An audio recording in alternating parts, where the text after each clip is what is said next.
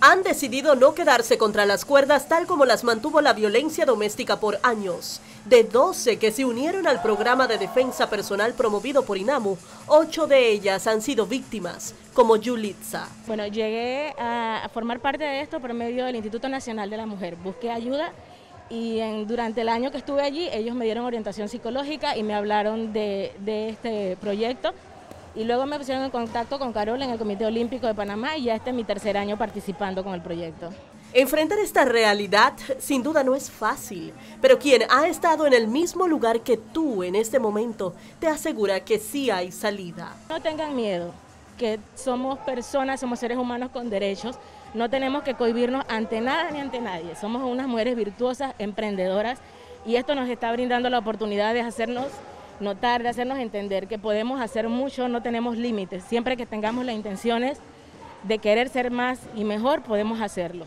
El gimnasio Eliodoro Patiño en San Francisco fue escenario para que mujeres al igual que Yulitza y quienes desean evitar ser víctimas inicien sus entrenamientos de defensa personal, ya sea para no ser sorprendidas, para defenderse y salir por ayuda. Nosotros tenemos dos tipos, dos métodos de poder captar a las mujeres. Primero nos acercamos al Instituto Nacional de la Mujer a través de sus oficinas de SINAMU, ellas nos proveen a nosotros una base de datos, cómo contactarnos con las mujeres, cómo poder llegar a ellas, nos contactamos directamente con ellas, les proveemos el espacio para que vengan.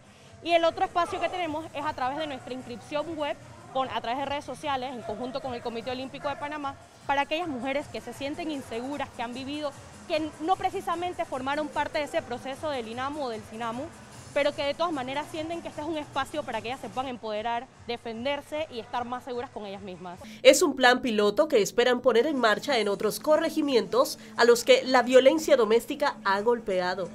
Va a estar todos los fines de semana de octubre en horario de 10 de la mañana aquí en el, el Patiño, aquí en San Francisco. Como ustedes pueden ver, aquí tenemos mujeres que han sido usuarias del INAMU Mujeres, algunas de ellas han pasado por experiencias extremadamente difíciles, otras son mujeres de la comunidad que creen en empoderarse ellas mismas.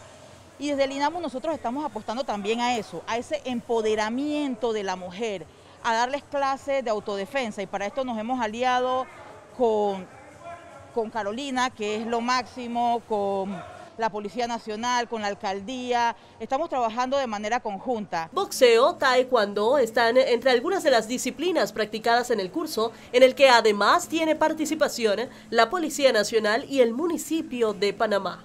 Milagros Córdoba, Telemetro, reporta.